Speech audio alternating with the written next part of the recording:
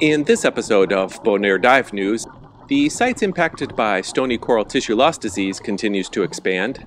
There's a floating coral larva nursery, cruise ship traffic drops off, Bari Reef access is still blocked, and ReeFiesta 2023 is coming. Plus, weather and dive related activities you may find interesting. Let's jump in. Unfortunately, the impact of stony coral tissue loss disease continues to grow. Small Wall and Bari Reef have been added to the orange caution advised status, as has Just a Nice Dive, which earns it the distinction of being the first impacted site on Klein Bonaire.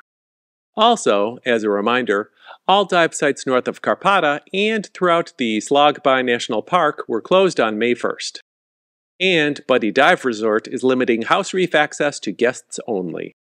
Regardless of where you dive on Bonaire, all divers are encouraged to decontaminate their gear before and after each day dive.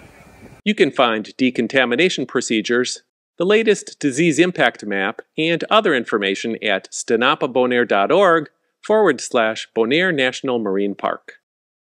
Reef Renewal Bonaire deployed a floating coral larva nursery at Oil Slick Leap last week. According to their post, the large inflatable blue nursery extends above and below the surface and will contain coral larvae that will settle on star-shaped ceramic substrates.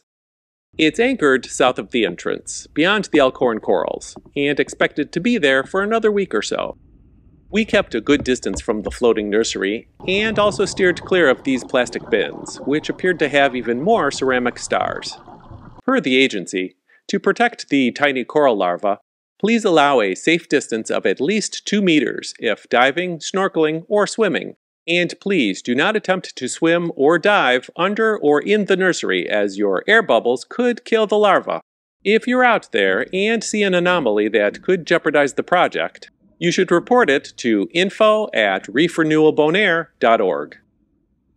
Both bonaire.portcall.com and the Bonaire Reporter are showing a significant reduction in cruise traffic now that it's summer. That will start to increase again in the fall, but divers should enjoy much quieter night dives and less road traffic to get to dive sites for the next few months. Yay! If you're planning to visit Bonaire in the next few months and haven't been here lately, you should know that the area in front of Bari Reef has been under construction for a while. The old dirt parking lot is being developed into a recreational area to be called Sunset Beach Park.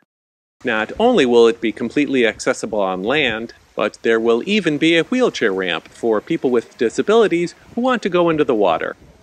The planned features also include a barbecue facility, toilets, palapas, and food kiosks, as well as Wi-Fi and a slipway to launch and remove boats. The target completion is late summer, but if you want to dive it now, note that the dock next to Den Laman is private property and not open to the public. That said, it's a relatively short swim from Front Porch, just 900 feet to the south.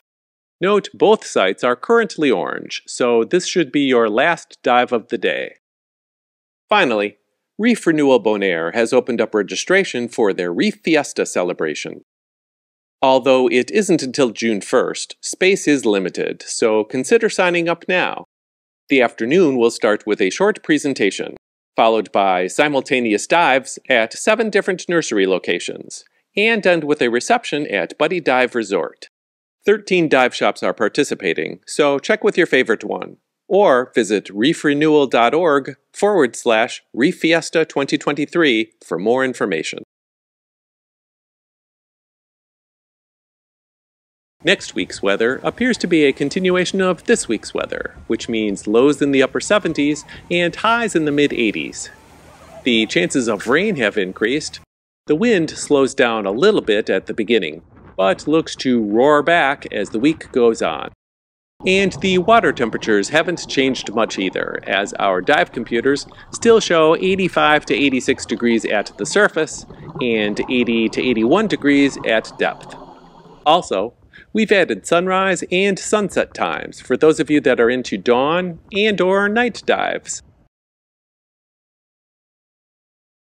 Reef Renewal Bonaire's weekly presentation kicks off the week of events, Sunday evening at 5.30 in Blenny's Restaurant at Buddy Dive Resort.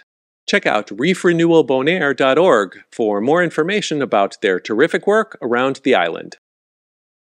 At 8 p.m. on Monday, Nicole Pelletier of the Caribbean Islands Manta Conservation Program will be at Divi Flamingo to give a presentation on their efforts. And yes, there are mantas in the Caribbean. Facebook.com forward slash Caribbean Islands Manta has additional information and some sweet manta pics. If you'd like to learn more about Bonaire's turtles, including where to find them, what they eat, and how they reproduce, Sea Turtle Conservation Bonaire holds their bi-weekly meeting at 8 o'clock on Wednesday evening at Yellow Submarine in downtown Kralendijk. More information about their organization can be found at bonaireturtles.org. STINAPA has already opened registration for their Great Lionfish Derby 2023, which will be on Saturday the 27th. Bring all your freshly caught lionfish to Salt Pier for measurement, counting, and awards. They will also have island chefs to turn it all into delicious food to go along with the drinks, music, and general revelry. Search for STINAPA Lionfish Derby on Facebook, or use the link below to get to their registration form. Saturday also kicks off Operation CCR at Buddy Dive Resort. It's a week-long event full of presentations, demonstrations, and, the most exciting part, gear tryouts. Additionally, there will be a guided dive to the Windjammer, a 180 foot deep wreck. More information can be found at buddydive.com forward slash events forward slash operation CCR. Finally, One Hour Cleanup Power is a quick hit group of volunteers attacking one specific area of Bonaire's coastline every week.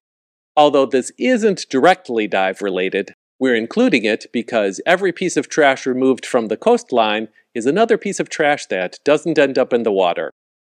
You can find out more at onehourcleanuppower.one or check out facebook.com forward slash one hour cleanup power for the latest planned location. That's it for episode 2. We're still tweaking things, but if you have any suggestions, feel free to leave them in the comment section below. While you're down there, consider subscribing to our channel. Come on, it'll be fun. Thanks. Smiley face.